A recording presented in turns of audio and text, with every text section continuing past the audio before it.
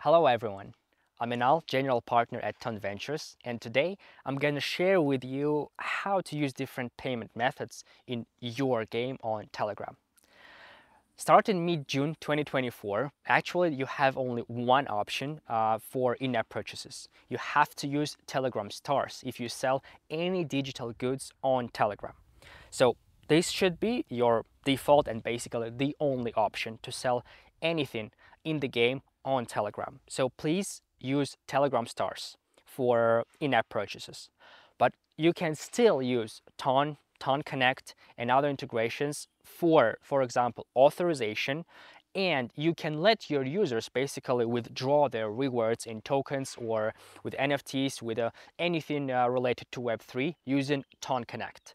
So the rule of thumb is quite simple. If you sell any digital goods inside the game, like skins or in-game currency, use Telegram stars. If you want to reward users with uh, anything like NFTs or fungible tokens, you can use Ton Connect uh, and your users can withdraw directly to their wallet at Telegram or to external wallets like TonKeeper or MyTon Wallet.